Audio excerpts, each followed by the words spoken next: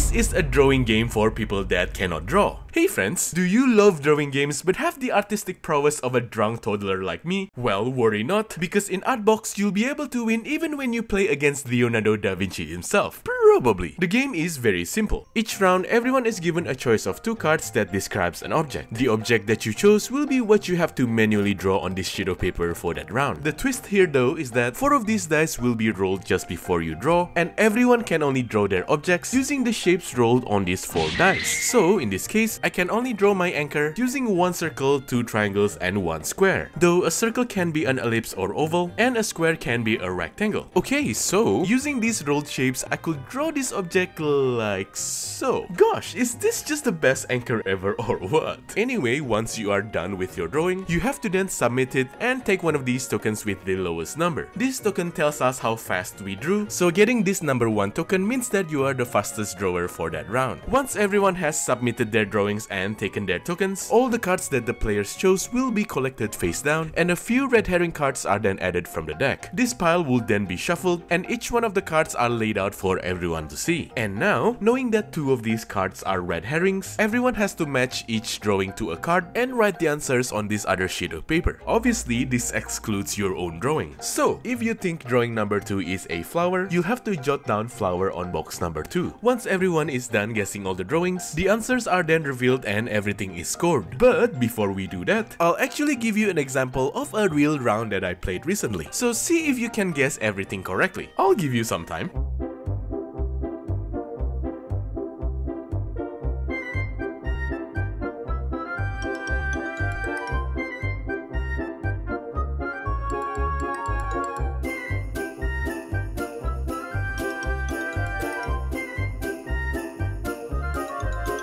Okay, so here are the answers. How did you do? Let me know in the comments down below. Once all of the answers are revealed like this, each drawing is then scored based on how many people were able to guess it correctly. A total of 2 points are given out each round. 1 point for the drawing which has the most correct guesses, which in this case will be this one with 5 correct guesses, and another point for the player with the most correct answers, though a player can only get a maximum of 1 point per round. In the case of a tie, say if these two drawings were correctly guessed by all the players, you then check their tokens to see who was the faster drawer out of the two. In this case, this person would win the point for that round. And that's one round of the game. They want you to keep playing until someone has a certain number of points, but I usually just play a fixed 4 rounds instead, since this can take a long time to fulfill. And yeah, that's basically all the rules for this game. So how is Artbox? Well, the game is actually really good. It's very clever for being able to basically level everyone's artistic abilities. You know, anyone can draw these simple shapes, so the game is testing your creativity and not your drawing skills. Honestly, the best kind of drawing game. I haven't seen another drawing game that does this so well or really at all. It's very accessible, it's really fun, and has minimum downtime because everything is simultaneous. Also, while drawing these things may look quite easy, it can actually be pretty challenging when you have to speed draw them instead. Or you can also just choose one of these weirdly difficult cards instead. I've played this game a lot of times, and it's always a banger in whatever group I brought it to. I don't know why this game isn't as popular as other party games like Telestrations. The only kinda negative thing that I could think of is that it's only good at higher player counts. I would say 5 to 8 is good, the more the merrier. Yes, I am reaching for this, because I cannot really find a fault with this game. Overall, I'll give this game an easy 9 out of 10. Very solid and fun party game. And yeah, that's it for this really short review. Check out my channel for other videos like this and leave a comment down below. That's it, see ya!